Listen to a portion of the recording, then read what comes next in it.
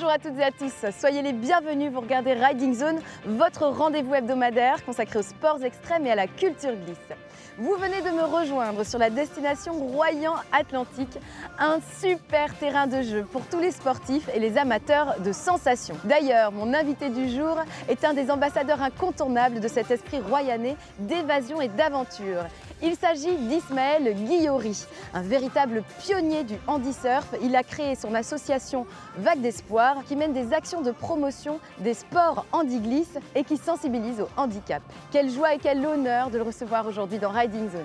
Voici le sommaire. Les Soul Flyers sont des spécialistes incontestés des disciplines aériennes. Les Français Vince Refait et Fred Fugain enchaînent les exploits sportifs toujours plus innovants à travers le monde. Ils se confient rarement aux médias et pourtant, pour Riding Zone, ils ont accepté de revenir sur leur parcours et sur leurs exploits. Vous découvrirez également notre sélection des 5 meilleurs tricks de la semaine, ainsi que le nouveau défi complètement délirant qu'on a lancé à nos copains riders. Riding Zone, c'est parti, on décolle tout de suite avec les ateliers.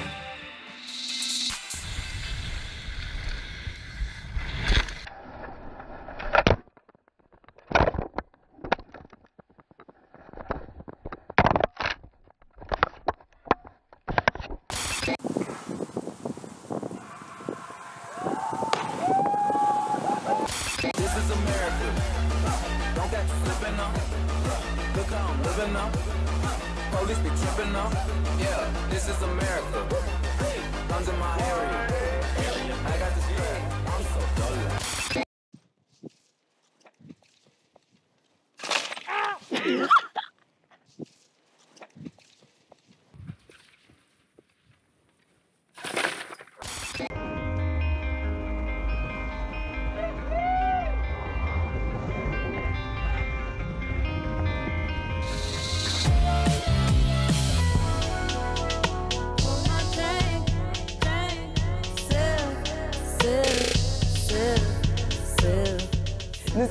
Sur la destination Royan-Atlantique et je me trouve actuellement dans le phare de la Coubre, sur la commune de la Tremblade. Ici, au mois de mai, se déroule l'Extrême 300, une course ascensionnelle chronométrée qui consiste à gravir les 300 marches du phare qui, lui, mesure 64 mètres de haut. Je n'en suis qu'à la moitié et autant vous dire que cette montée est déjà vertigineuse.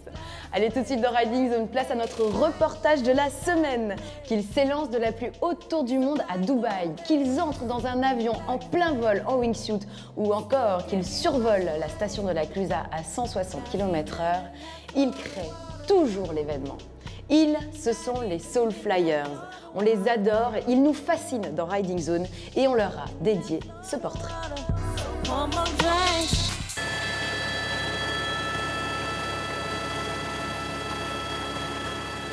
C'était le 25 février dernier à La Clusaz en Haute-Savoie. Les Soul Flyers sont prêts à descendre les pistes de ski de la station à leur façon.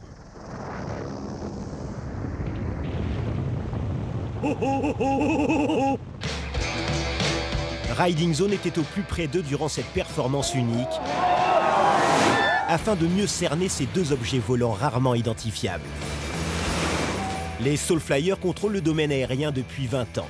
Il faut dire qu'ils sont plus à l'aise dans les airs que sur Terre. Parachutisme, 17 000 sauts, euh, pareil, on va dire 16 500, 17 000 sauts, euh, parachutisme. Ils ont tout tenté, tout testé, tout réalisé. Free fly, vol en wingsuit, vol de nuit, vol de proximité, speed riding, base jump, jetman.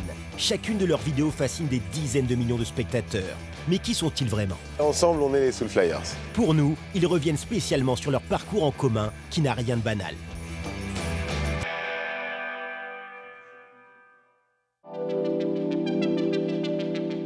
Fred Fugin, 39 ans, et Vince Refait, 34 ans, n'ont pas toujours été les Soul Flyers.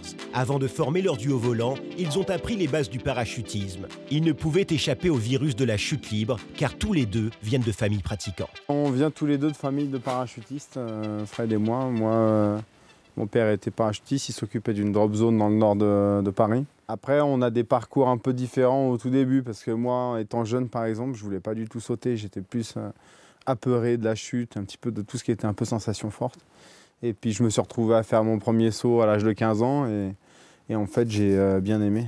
Ça s'est plutôt retourné complètement. Moi, premier saut à l'âge de 10 ans en tandem avec mon père. Euh, voilà, mes parents euh, faisaient du parachutisme et j'ai, euh, je les voyais sauter depuis que j'étais tout petit. Et, et puis j'avais hâte d'essayer. Donc voilà, j'ai fait quelques sauts en tandem quand j'avais pas encore l'âge de pouvoir sauter seul. Et puis ensuite, à 16 ans, j'ai commencé à sauter tout seul et je me suis jamais arrêté. Ils se sont rencontrés au début des années 2000 et ne se sont plus jamais quittés. Et à partir du moment où on a fait équipe ensemble, on n'a plus jamais perdu une compétition. Et les années Free Fly ont été fastueuses. On a enchaîné six titres mondiaux, dont euh, trois titres de champion du monde, une Coupe du Monde et deux euh, World Games.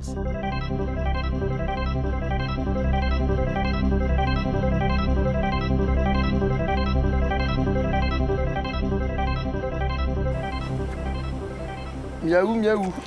Durant ces années, ils ont aussi expérimenté d'autres disciplines aériennes. Vol en wingsuit, speed riding et aussi base jump. Nous sommes en 2002, les cheveux sont plus longs, mais les sauts sont plus courts.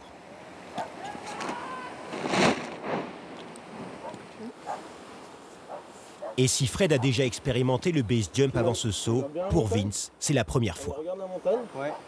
C'est quand tu veux. C'est parti. Yes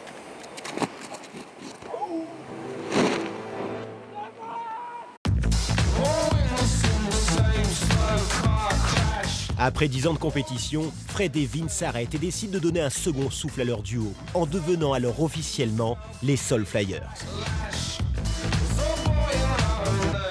Moi j'en avais un peu marre de la compète, ça faisait 10 ans que j'en faisais. Euh, bon après voilà, hein, la compète c'est- fantastique, hein, ça permet d'avoir des super bonnes bases, ça nous a fait voyager, ça nous a fait surtout atteindre un très bon niveau et, aussi apprendre un peu la rigueur de l'entraînement et comment structurer un entraînement, etc. Et ça, ça nous a vachement servi par la suite euh, euh, quand on, on s'est retrouvé à faire des projets. euh, euh, donc pour nous en fait, Pour leur premier gros projet, les Soul Flyers sont allés en Norvège, sauter depuis des falaises de 1000 mètres. À ce moment-là, nous, on a voulu, c'était euh, réaliser les figures qu'on faisait en compétition en free fly. Et on s'est dit qu'on aimerait bien essayer de les réaliser, mais en base jump. Donc, c'est-à-dire euh, bah, trouver les falaises qui soient les plus hautes, où on puisse avoir assez de temps de chute pour pouvoir réaliser certaines euh, de nos figures emblématiques, comme par exemple un tête-à-tête. En para, on avait une figure emblématique où on sortait de l'avion, où, euh, où pendant le saut, on se euh, venait se mettre sur la tête et puis on faisait des figures. Et ben, en gros, on s'était dit, bah, c'est une figure qu'on aimerait bien faire. C'était notre premier trip, voilà, en tant que euh, plus compétiteur, mais euh, en tant que euh, soul flyer. voilà. Cette vidéo très remarquée sera le point de départ de leur nouvelle carrière. Le champ des possibles s'élargit jusqu'à Dubaï et sa fameuse Burj Khalifa, la plus haute tour du monde qui culmine à 830 mètres.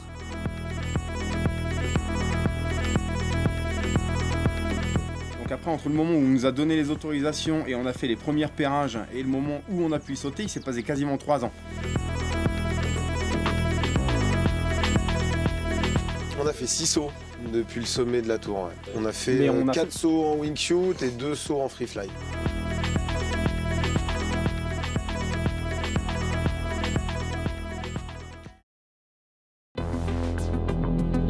Un mois après Dubaï, direction Chamonix pour un autre saut emblématique, à 10 000 mètres d'altitude cette fois.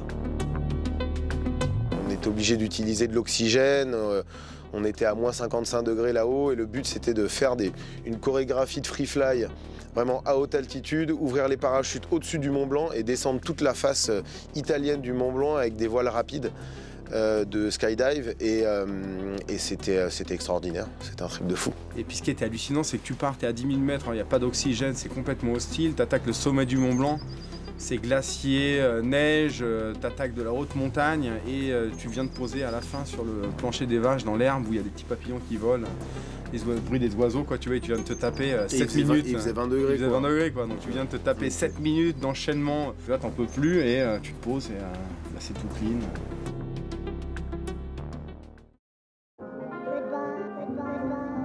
Et quand Yves Rossi, l'inventeur de Jetman, a cherché les meilleurs parachutistes pour piloter ses ailes en carbone, c'est tout naturellement qu'il s'est tourné vers eux. Dans un premier temps, c'est Vince qui a enfilé le costume aux quatre réacteurs. Moi je sais quand j'ai commencé à voler Jetman, c'était impensable que Fred il vole pas euh, ce système. Et donc euh, quand, euh, bah, quand on est arrivé là-bas, moi je leur ai dit bon voilà moi c'est On va commencer Jetman.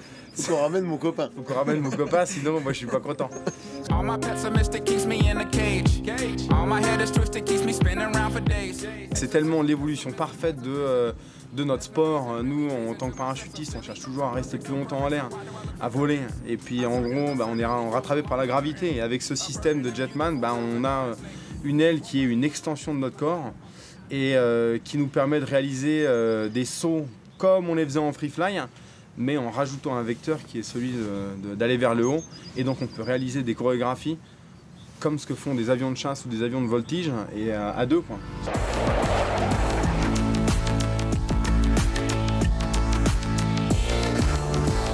Cet accélérateur qui est euh, sur le pouce et euh, bah, quand on met plein gaz, bah, ça chie. euh, non mais ça envoie, ça envoie fort.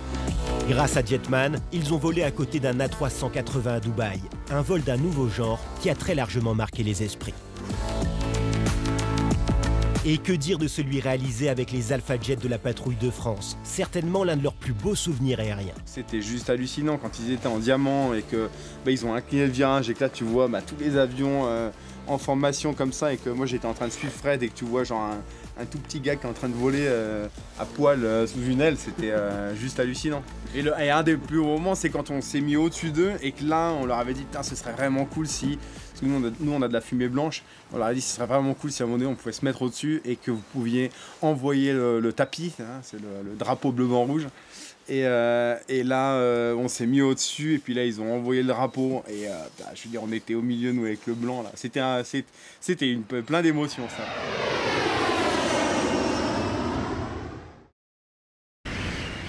Et s'ils arrivent à voler à côté des avions, ils arrivent même à rentrer dedans en plein vol. Ça y est, mon vite, on y est, c'est le grand jour. Allez, on part. Allez, on y va.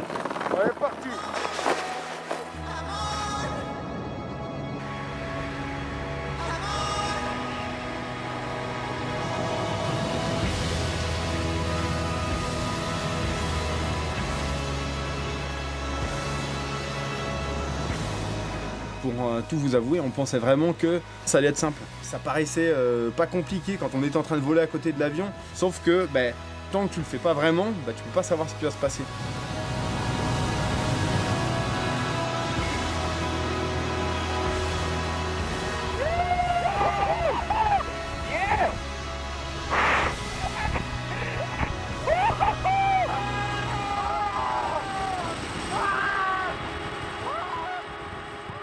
Mais avec toutes ces sensations fortes, qu'en est-il une fois au sol quand l'adrénaline retombe? Mais ça vous arrive de faire des sports plus terre à terre? Si on en connaît un, mais on va pas le citer. euh, Non, plus tranquille, on fait du parapente, on fait de la rando, on fait du, du kitesurf. euh, Ouais, le kite, voilà, le, le kite et le parapente, Voilà. c'est vraiment pépère, Tranquille, bien, quoi. tu vois. Vous êtes-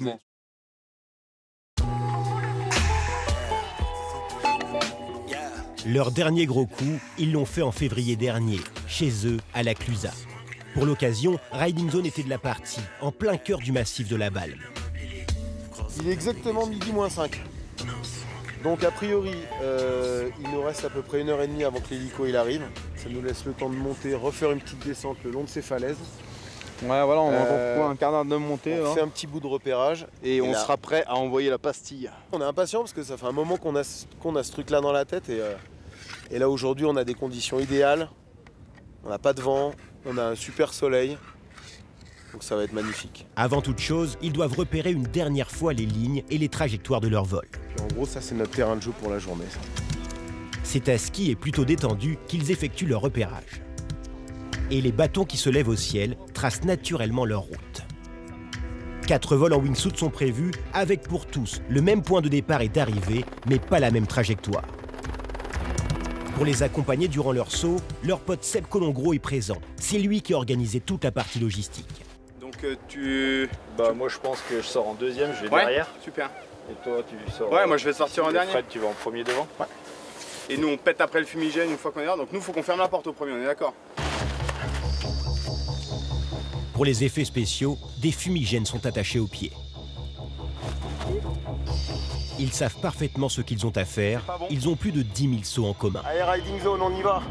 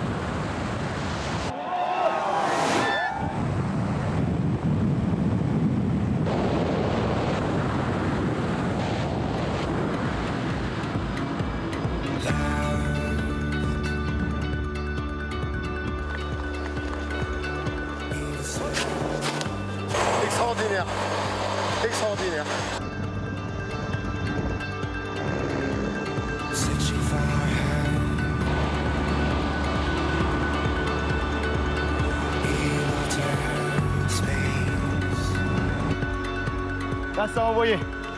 Merci la Clusa. Bien sûr, les Soulflyers ne vont pas s'arrêter là. Dans un futur proche, ils vont refaire parler d'eux avec deux très gros projets qui sont pour l'instant top secrets.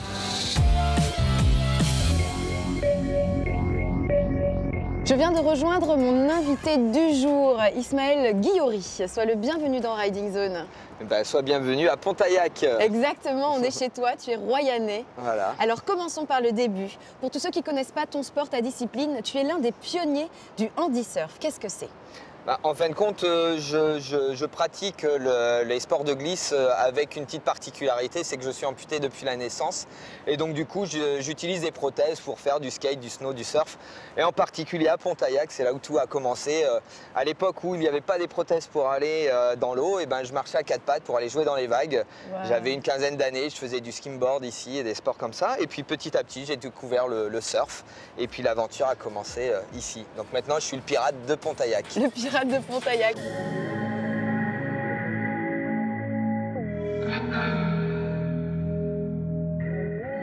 Je tombe et je persiste pendant trois années ici. Et un jour, je me dis, mais pourquoi j'arrive pas à faire mon take-off? Ouais. Pourquoi j'arrive pas à me lever sur ma planche? C'est juste parce que ben, je ne peux pas plier le, le genou comme il faut, je n'ai pas la, la possibilité de plier ma cheville. Mais ce que je peux faire, que les autres valides ne peuvent pas faire, c'est que moi, je peux couper mon tibia, je peux couper mes orteils. Et finalement, là, ça passe. Et ce jour-là, je vais ici, c'est au mois de mars, je me lève sur ma planche et je me casse la figure comme d'habitude, sauf que là, tout est différent. Je tombe comme les autres. Maintenant, Ouais. il faut juste que je m'entraîne. Exactement. Alors aujourd'hui, ce que tu as découvert, cette passion pour le surf, tu la partages. Euh, tu l'as fait découvrir également à tous ceux qui te rejoignent dans ton association, c'est bien ça Oui, on a un groupe d'amis, un groupe de riders, et que ce soit le surf, que ce soit le skate, le snow, que ce soit euh, le kitesurf, tous ces sports-là, en fin de compte, ce sont des sports euh, qui se pratiquent dans les éléments, dans les grands espaces, et ça rassemble. Et c'est là où on va se retrouver avec des bancales, des bras cassés, euh, des personnes valides qui vont venir et qui vont se découvrir ensemble. La personne handicapée va accepter des fois son handicap ou se surprendre à faire des choses qu'elle s'interdisait, mais il y a aussi des personnes valides qui vont s'interdire des choses et pas vivre pleinement leur vie. Et au contact avec nous, vont se dire, mais finalement, c'est quoi ces petits bourrelets, ces petites rondeurs? Allez, il fait beau, il fait chaud comme aujourd'hui, on fait péter euh, les habits, on se met en bikini et tout le monde va s'amuser.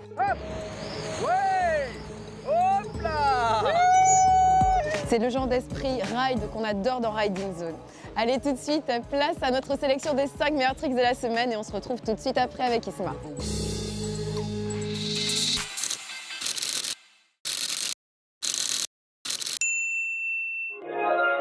On commence les 5 tricks de la semaine en Arabie Saoudite. C'est ici que le FIS a réuni 72 athlètes pour The Battle of Champions. Côté skateboard, on a retenu ce hill flip no slide 270 shove it out signé Richard Thury. On reste FIS pour la quatrième place qui revient à Logan Martin. Le BMX rider australien a envoyé un énorme 720 désaxé avec double bar spin. Il termine deuxième du contest.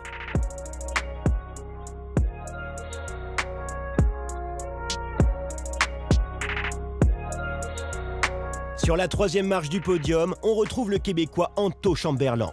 Le snowboarder de 30 ans nous offre un combo 50-50 to wall ride to underflip tailfish out. Juste énorme. On poursuit avec le pilote de FMX Kai Haze.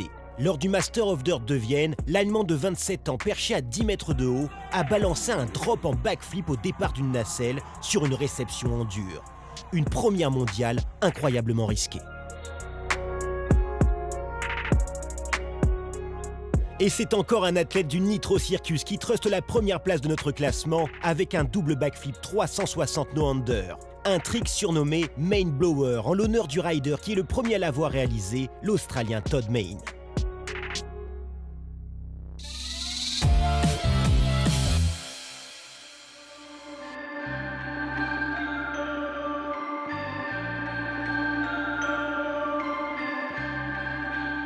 Je suis toujours avec Ismaël Guillori, le surfeur royanais, créateur, fondateur de l'association Vague d'Espoir.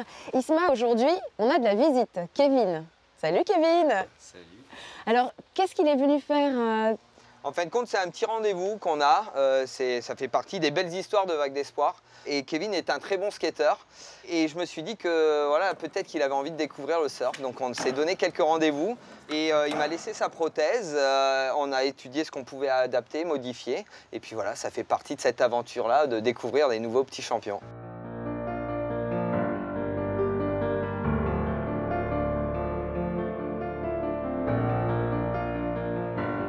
Avec cette prothèse, il va pouvoir vraiment évoluer sur la vague avec le maximum de sensations. Alors cette prothèse, cette fameuse prothèse que tu es venu chercher, qu'est-ce qu'elle a de particulier par rapport à celle que tu as aujourd'hui avec laquelle tu skates? Euh, c'est surtout le- la surface adhérente qui est en dessous en fait. D'accord. Avec un pied normal, il n'y a pas assez de surface adhérente en dessous et du coup ben, ça glisse sur la planche de surf. D'accord. C'est ça qui est euh, sympa, c'est qu'on a du très bon matériel qui existe. Ça, c'est ma prothèse de tous les jours ou pour faire du snowboard et tout ça. Kevin a une prothèse qui est dans le même style et euh, ça, c'est ma première prothèse. Donc on voit l'évolution des technologies Ah oui. et des matériaux qui nous permettent vraiment maintenant de plus de marcher. On court, on rêve, on peut faire plein de choses, mais là, marcher, c'est bien pour rêver. Nous, euh, ce qu'on va rechercher, c'est des prothèses comme ça. Donc ça, c'est ma prothèse de surf. L'idée, euh, c'est une adaptation sur une lame qui existe déjà et on vient adapter une semelle. Ça ne cherche pas forcément grand-chose de faire plus compliqué, mais avec ça, on va augmenter la surface de contact et d'accroche du coup et on va avoir des appuis plus importants.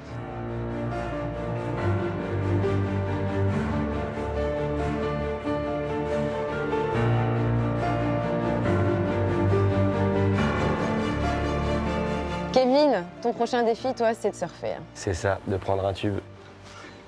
Rien que ça. Ouais, rien que ça, j'avoue. On prend le pari Rien que le tube. Allez, tout de suite dans Riding Zone, place à notre défi complètement délirant de la semaine.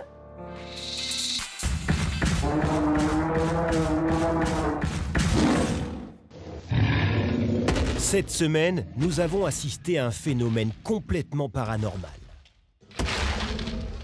On pensait que les dinosaures avaient disparu depuis 66 millions d'années. La preuve que non, il en existe encore un et il fait de la trottinette. Bon, retour en arrière. En fait, le T-Rex s'appelle Antoine et il va relever un défi pour nous. C'est donc au Jurassic Skate Park, le spot du Mans, que nous avons retrouvé Antoine Pujol, 17 ans, trotty rider confirmé et apprenti dinosaure pour la journée. Le défi est simple, basique, il consiste à rouler en T-Rex et voir jusqu'où on peut pousser la blague. Grâce à un ingénieux système, le dinosaure se gonfle et prend forme en une minute chrono. Alors, Antoine va-t-il devenir le temps d'une session le dinosaure le plus cool de la Sarthe? I live life according to the and theory. A champion, a trophy goes to me clearly. Most of these niggas fear me seriously. I'm a step above God, my apostles cheer me. Clap if you hear the desert eagle spitting with a balloon mind state. I start ego tripping. Back in the lab, I'm the mad scientist. Keep an eye on this. When I roar, I'm lioness. Yes, untamed, my style is mundane. Consumed from the moon until the sun done changed. Done, done, I done came. Conquered my insanity. The man in me evolves through my vanity. All black tee, Philly fitted with a black P. Niggas ain't ready for war to blast me. C'est bon, ça Ask passe. me if I give two shits. If you ain't Pharaoh's QD, my kids are my bitch.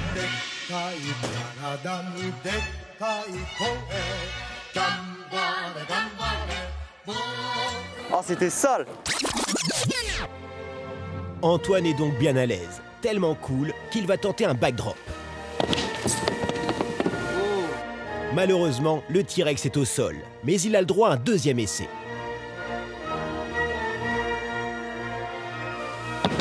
Et cette fois, ça passe. Tyrannosaurus Rex, ça veut dire roi des lézards tyrans. Grâce à son aisance dans le parc, on peut le dire, Antoine en est un. Il fait désormais partie de la famille de ces bipèdes au grand crâne. Mais Antoine a trop voulu faire le dino. Du coup, l'extinction de l'espèce s'est faite une deuxième fois.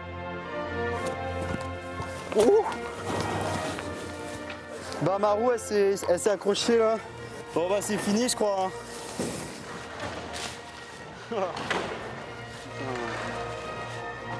Bon voilà comment elle se finit cette session. Merci Riding Zone. À une prochaine.